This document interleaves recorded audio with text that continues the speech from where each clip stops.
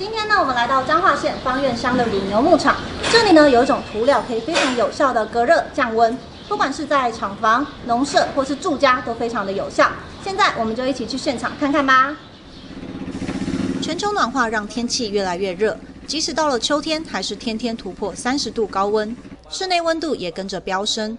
台中新兴农生物科技公司经理王水池有一项特别的技术，将隔热漆喷洒在建筑物的屋顶或外墙，阻隔太阳照射，达到降温的效果。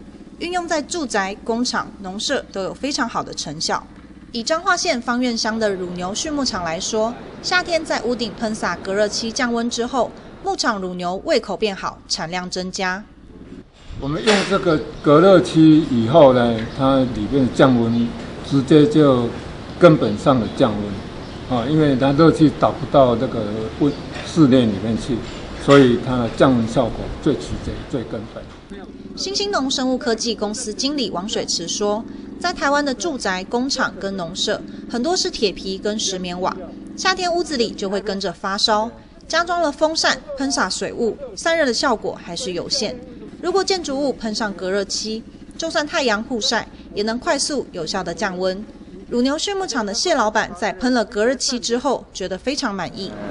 我感觉伊的效果吼，有对咱有有真大的帮助，因为伊降温有法度降差不多伫咧五度至六度，吼啊，互牛仔的迄个热紧迫会较袂遐严重，啊，伊的采食量会较悬。啊，所以采食量若较悬，咱下气的诶蜜奶，伊咧迄个下降速度就较缓慢。炎热的夏天，想要凉快就要开冷气。不过有些地方，像是工厂、牧场，没办法装冷气。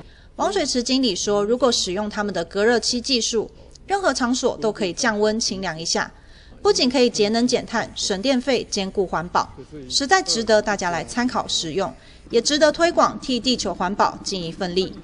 记者陈文旭、李嘉金、李金生彰化报道。静香真足料，赞赞赞！菜是有比较好，人家吃。